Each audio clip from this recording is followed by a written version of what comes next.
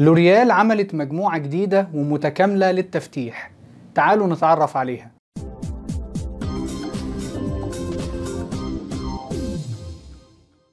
السلام عليكم. مساكم الله بالخير واهلا وسهلا بيكم في فيديو جديد. معاكم دكتور صيدلي عصام شومان. المجموعة اللي هنتكلم عنها النهاردة إن شاء الله اسمها لوريال Glycolic Bright وهي عبارة عن أربع منتجات الغسول والسيرم وكريم النهار وكريم الليل.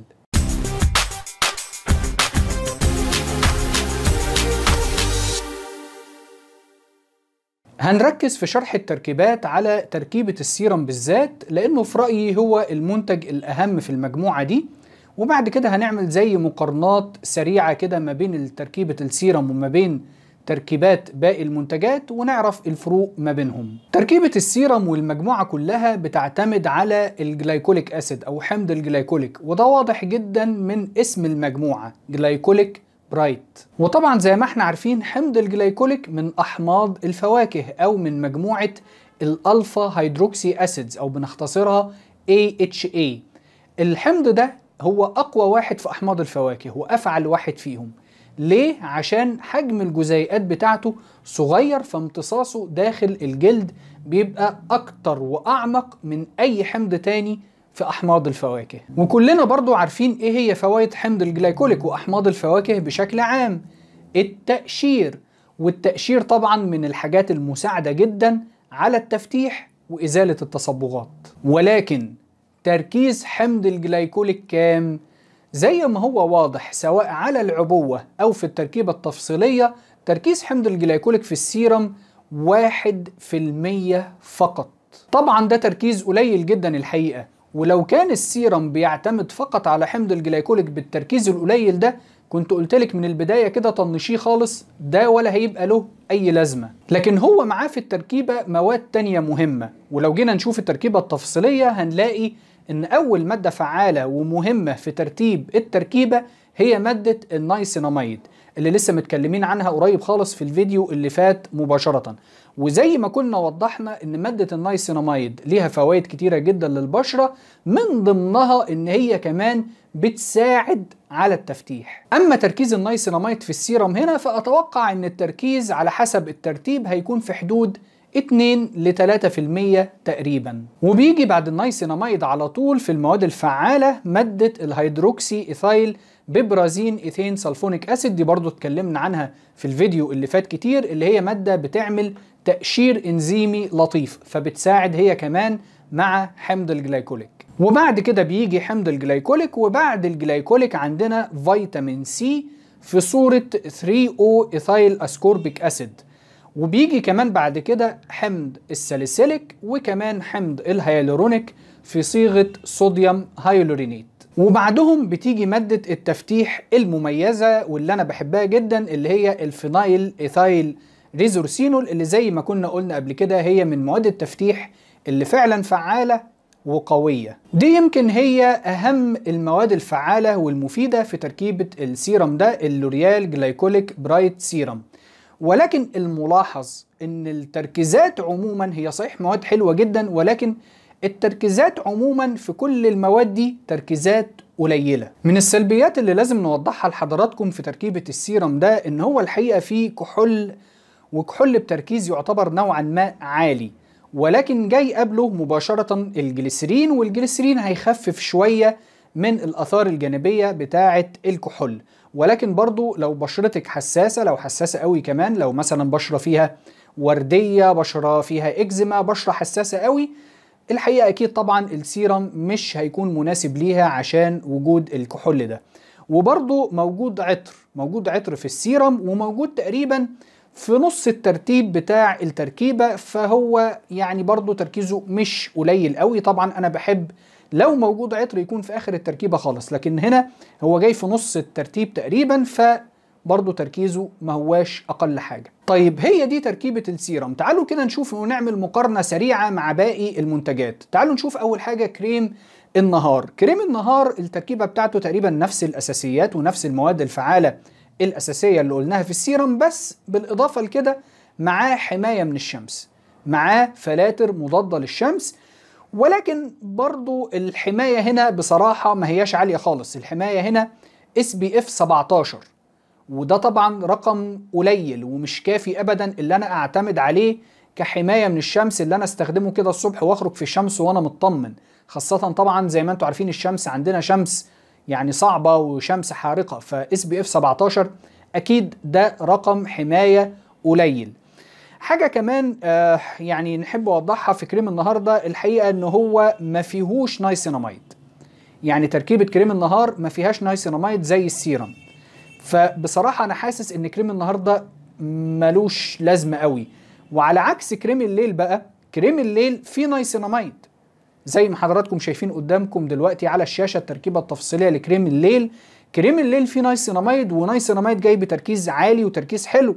وفي أول التركيبة خالص يعني ممكن تركيزه في كريم الليل يتراوح ما بين 3 ل 4% فوجود النايسيناميد في كريم الليل حاجة كويسة وزي ما هو موجود في السيرم لكن ما هواش موجود في كريم النهار. فدي برضو حاجة مش حلوة في كريم النهار. وطبعا برضو معانا في كريم الليل برضو أكيد باقي المواد الأساسية حمض الجلايكوليك اللي تركيزه في كريم النهار وفي كريم الليل برضو ممكن يكون في حدود الواحد في المية زي السيرم أو يمكن يبقى أقل شوية. وطبعا برضو عندنا ال sodium hyaluronate وعندنا برضو ال phenylethyl resorcinol ماده التفتيح اللي أنا بحبها جدا وفيتامين سي وبرضو عندنا حمض الساليسيليك فالباقي المواد الأساسية موجودة برضو سواء في كريم النهار أو في كريم الليل اللي بيفرق إن كريم النهار ما فيهوش نايسيناميد بالنسبة للغسول الغسول الحقيقة تركيبته لطيفة جدا. يعني لو جينا نبص كده على التركيبة التفصيلية هنلاقي إن المواد المنظفة أو اللي إحنا بنسميها surfactants من الحاجات الخفيفة وال gentle ومفيش خالص أي نوع من أنواع أملاح ال sulfates. فدي حاجة كويسة في الغسول ده. وبرضو عندنا باقي المواد الأساسية زي حمض الجلايكوليك موجود معانا وحمض الساليسيليك برضو موجود وفيتامين سي برضو موجود وفي كمان خلاصات طبيعية إضافية موجودة في الغسول فالغسول الحقيقة كويس وهيكون إضافة كويسة مع باقي المجموعة. بس برضو العيب فيه يمكن زي ما حضراتكم ملاحظين إن العطر برضو موجود في الغسول ده وموجود برضو بتركيز ما هواش قليل للأسف.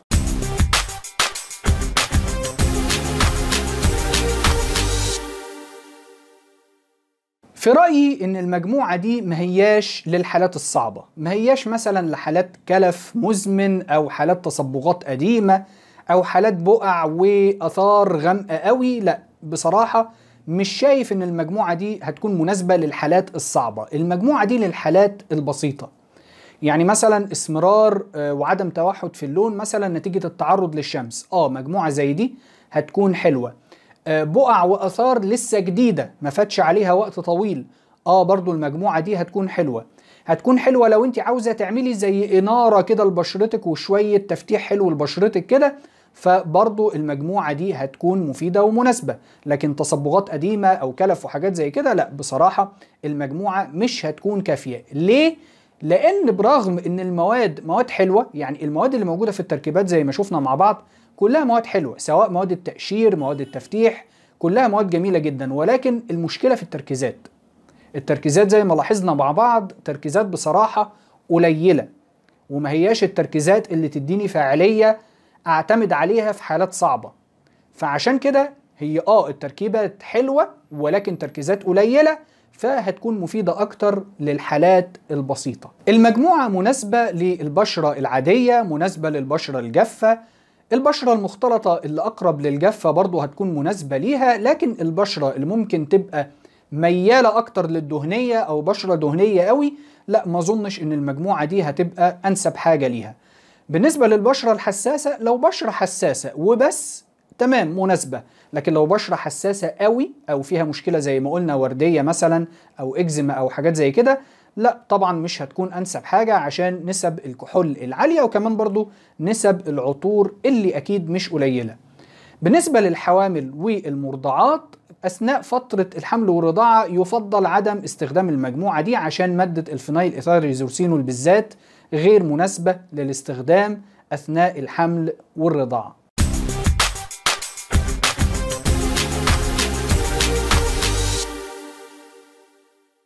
زي ما قلت لكم أنا أنصحكم إن إحنا نطنش خالص كريم النهار. كريم النهار الحقيقة ما بيقدمليش أي فايدة إضافية لا في حماية من الشمس عالية وحتى كمان يعني ما فيهوش كل المواد الأساسية مادة النايسيناميد مش موجودة فيه ودي حاجة مهمة. فأنا أنصحكم إن إحنا نطنش خالص كريم النهار وناخد من المجموعة الغسول والسيرم وكريم الليل. طيب هنستخدمهم إزاي؟ طبعا أول حاجة هننضف بشرتنا بالغسول وبعد كده هندهن السيرم ندهن على بشرتنا كلها طبعا ما عدا منطقة مدار العين. ممكن ندهن على البشرة كلها وعلى الرقبة كمان. وبعد مثلا 10 دقايق ولا حاجة لما البشرة تمتص السيرم بشكل كامل ندهن كريم الليل. وهنكرر الموضوع ده مرتين في اليوم مرة الصبح ومرة بالليل.